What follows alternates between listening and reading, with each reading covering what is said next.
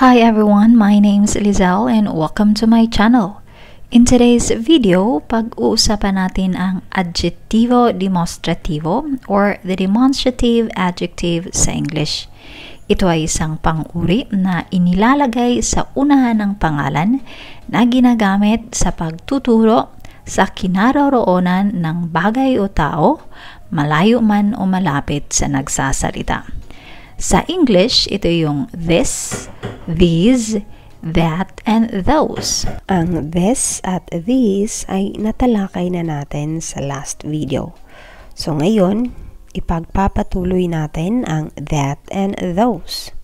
Ang that ay ginagamit sa pagtuturo ng isang bagay o isang tao na malayo sa kinaroroonan ng nagsasalita. Halimbawa, That car is for sale. Samantalang, ang those ay ginagamit sa pagtuturo ng dalawa o mahigit na bagay o tao na malayo sa kinaroroonan ng nagsasalita. Halimbawa, those cars are for sale. Ngayon, aalamin natin kung paano ito sasabihin sa Italiano. Sa Italian language, ang pang-uri ay palaging sumasang-ayon sa dami at kasarian ng pangalan o noun na tinutukoy. So ito ay nahati into masculine and feminine na maaaring singular at plural. Kung ang demonstrative adjective na that ay sinusundan ng masculine noun na nagsisimula sa consonant, ano tong mga consonant?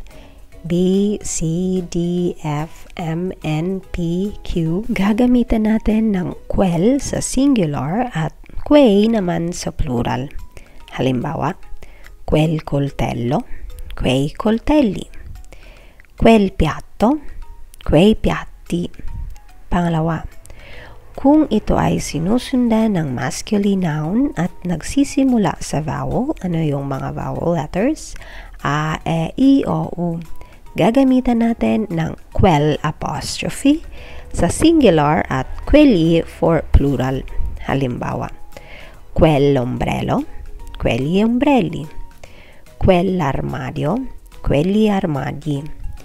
Pangatlo, kung ito ay sinusundan ng masculine noun na nagsisimula ng S plus consonant, Z, Y, PS, GN, gagamitan natin ng quello for singular at quelli sa plural. Halimbawa, quello sciroppo, quelli sciroppi. Quello zucchino, quelli zucchini. Samantalang, kung ang that ay sinusundan ng feminine noun na nagsisimula sa consonant, gagamitan natin ng quella for singular at quelle sa plural. Halimbawa, quella matita, quelle matite. Quella ruota, quelle ruote.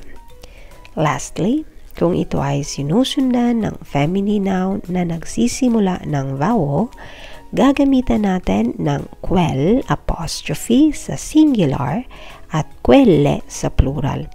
Halimbawa, quell'isola, quelli essole, quell'arancia, quelle arance.